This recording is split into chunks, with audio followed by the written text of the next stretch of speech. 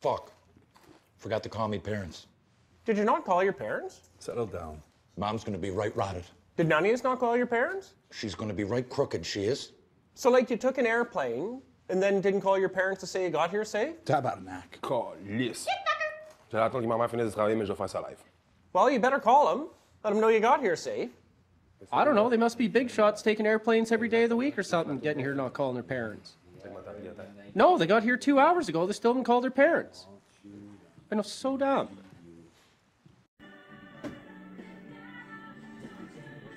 These back to backers for the big Quebecers. Hey, did you call your parents? Fuck. That ball happened. Come on. You want them to fucking beat you? Holy.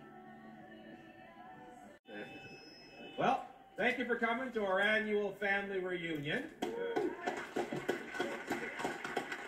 And I appreciate all the highfalutin city bullshit you managed to put aside. You know, these gatherings are important because they remind you of where you came from and how proud you should be of where you are. Hmm? My first foster child is the one they call Shoresy.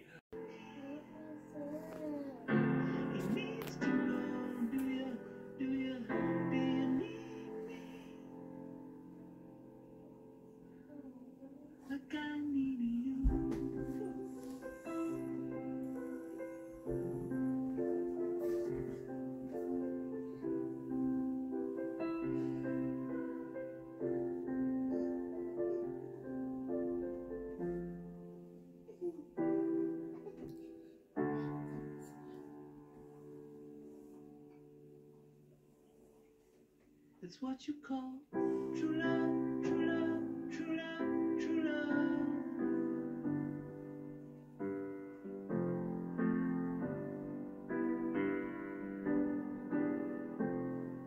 It's what you call